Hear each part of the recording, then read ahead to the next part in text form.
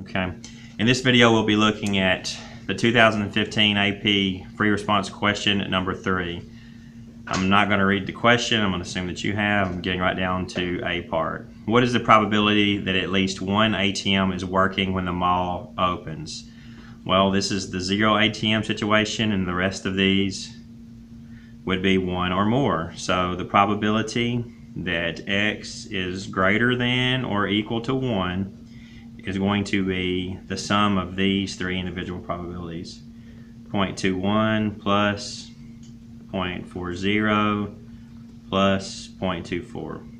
All right, and summing those three numbers is 0.85.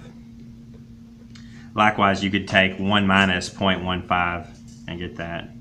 85% chance that at least one of the ATMs is working.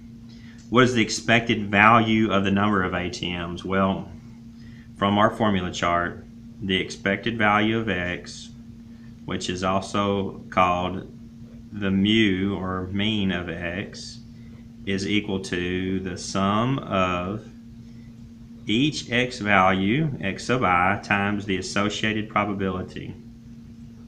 In this situation, it's the product of each one of these summed. So 0 times 0.15 plus 1 times 0.1, 0.21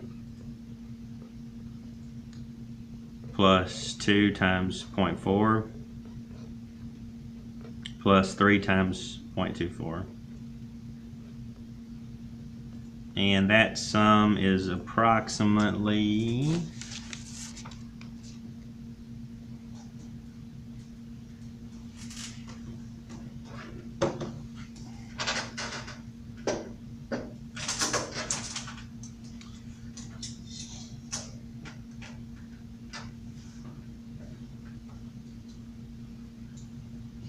One point seven three.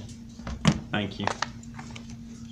All right, what is this one point seven three? It is the long run average. That is if if we went in there to the mall a, a million times and added up the number of ATMs and divided by a million, it would approach 1.73.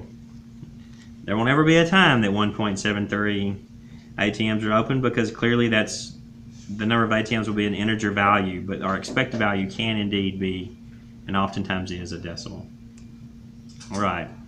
C, what is the probability that all three ATMs are working given that at least one is open working? So we want the probability um, that X is going to be precisely 3 given that X is um, greater than or equal to 1. All right, well, it is that both of these things happened assuming that it's the greater than 1. So in this case, our denominator is this 0.85. All right. The denominator here is going to be 0.85. We're, our whole world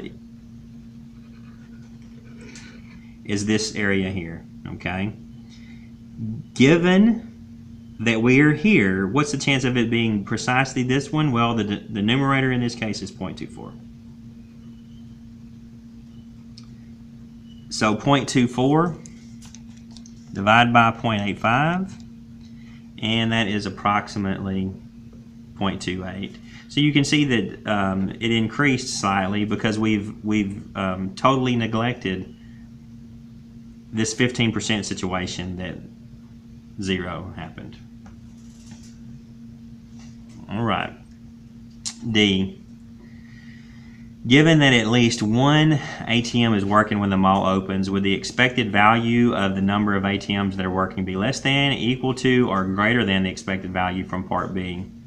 Well, I hope it's obvious to you that if if this thing doesn't occur, if we're never going to get zero and we're just going to be here, then it's going to increase. All right? It makes perfect sense that our new expected value would be greater. Well, how would we uh, calculate that? Well, um, our new denominator, instead of considering 1 here, our new denominator is this 0.85. We'll take our old expected value, which is, I'm going to call this our expected value new, is going to be our old expected value, 1.73, and we're going to divide by 0.85. All right, that's the um, our entire set precluding this value there. So 1.73 divided by 0.85.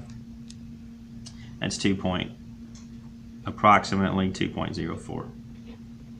And, and just intuitively, this makes perfect sense. You know, think about your, your grades. If you um, threw out all the zeros that you had, wouldn't indeed your average be higher? That's what we have here. 15% of our situation were zeros, 21% were ones, 40% were twos, 24% were threes. Where we're throwing out that 15% of zeros, naturally our expected value would be higher. We need to say that. Our expected value increases as we have eliminated the 15% of time zero ATMs. We're working. All right, that concludes uh, question number three.